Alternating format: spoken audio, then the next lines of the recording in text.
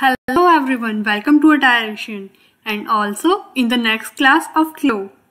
Today we will learn about particle distance. In particle distance we will understand about the outcome of changing its value. So let's begin today's class.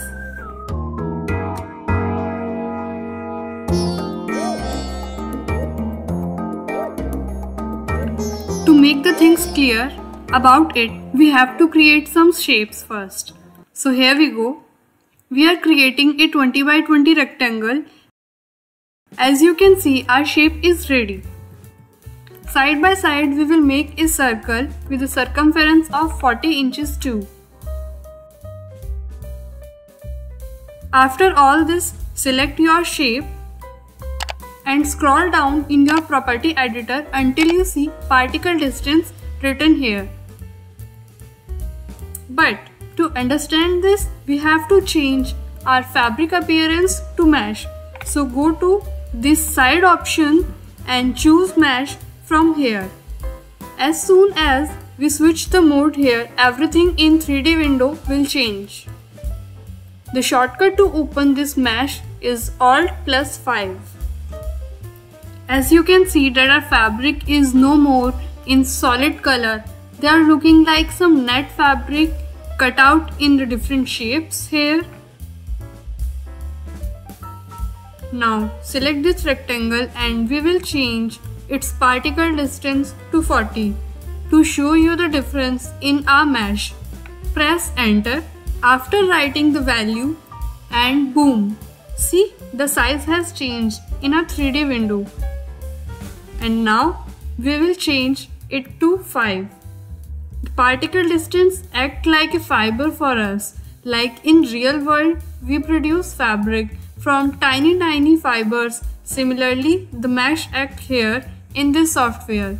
So, the value is changed here and so is our mesh. It's too much congested now as compared to 40 and 20 value. Now rotate your fabric with the help of your gizmo tool and before turning on the simulation, we will increase the additional thickness of this circle here.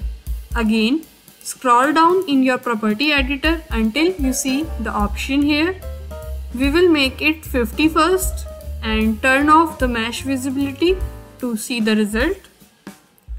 We got very little amount of thickness here we should increase it till 100. If we turn off its curved side geometry, our circle that was about to make a sphere here is converted into a cylinder. It's just to show you all, so let's go back. In similar way, I have created one pearl, so I will import it here to make my working easy. Because I'm too lazy to make the same thing again. You might be thinking, why not simulate with this shape only? But, but, but, here is one reason and that's this. A fabric will pass through from a circle like this if we don't convert it as avatar here. So whatever shape we are seeing right now is not in solid form yet and the look I wish to achieve can't be seen here with this shape itself. It's looking like a burger with paneer. So we will go back to our original position and we'll import our file here. Check the setting before adding the file. Don't forget to change the type as avatar. Press OK. Let's adjust the shape's position now. Now if we simulate this fabric, it won't pass through our shape because it's an avatar now. As you all can see, it's like a fabric laying over a ball. Let's make our area clean first. Now if we increase the particle distance of our rectangle, the shape will become rigid.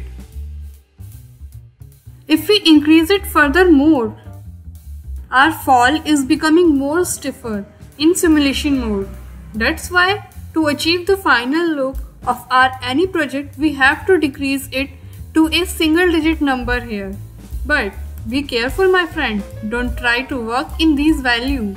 Yes, you can switch it sometimes to see the final outcome but don't ever work with these values because time is money.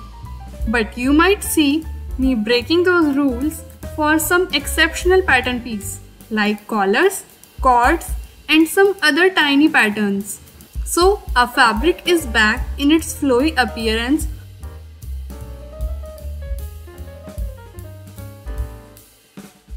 Only low particle distance won't give you the finished look.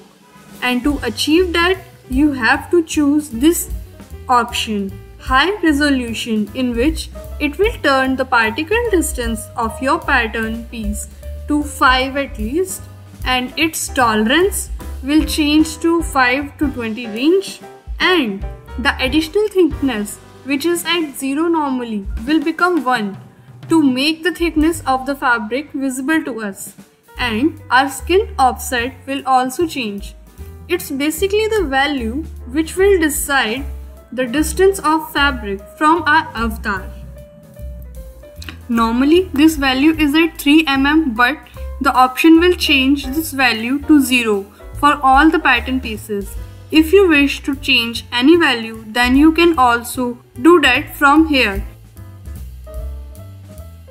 Simulation quality is also at complete because we want the final result here. So we will simulate the fabric in higher resolution now. This is little time taking but its final look is worth to wait. In this state, we can export higher quality images of our projects.